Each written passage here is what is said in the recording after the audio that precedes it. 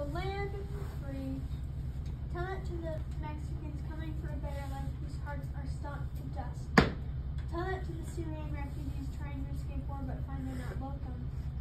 Because of discrimination, because of the color of their skin, because of the place they come from. Tell this to the native children who are locked in the education camps because of their culture.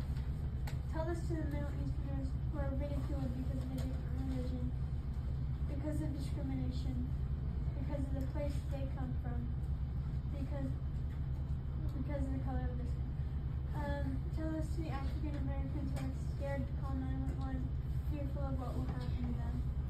Tell this to the low-income Americans working three jobs while, bil- while billionaires swim in their cash pools because of discrimination, because of the color of their skin, because of the place they come from.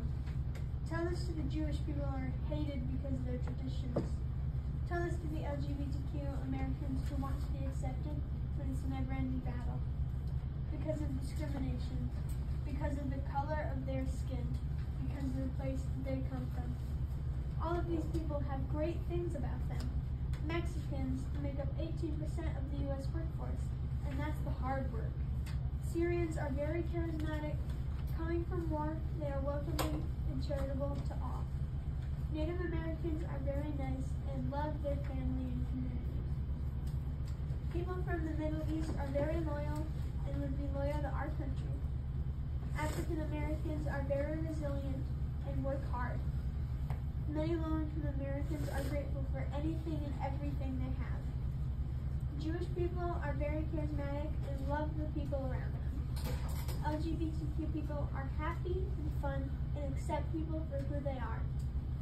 All of these people are great. They do not deserve the life they live, where they are discriminated and feel hated. If we all learn to love each other, we could build an America where no one feels hated, with life, liberty, and lots of happiness, and justice for all.